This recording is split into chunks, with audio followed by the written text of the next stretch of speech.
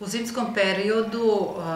zato što su niske dnevne temperature, povećava se količina hormona koji nas teraju da više jedemo. Znači, apetit se u zimskom periodu s pravom povećava zato što se spremamo za jedan period koji treba preživeti malo veće hladnoće.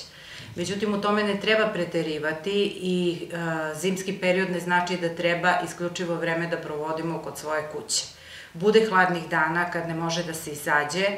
ali u toku dana uvek postoji period kad mi možemo da se šetamo i da boravimo van kuće i to nikada ne treba da zaboravimo. E, zimski period je period bez energije ako želimo da ga provodimo kod kuće i ako e, uzimamo masnu i tešku hranu začinjenu, onda znači, e, pad energije se osjeća u svakom periodu godine sa takvim stilom života. Ako u zimskom periodu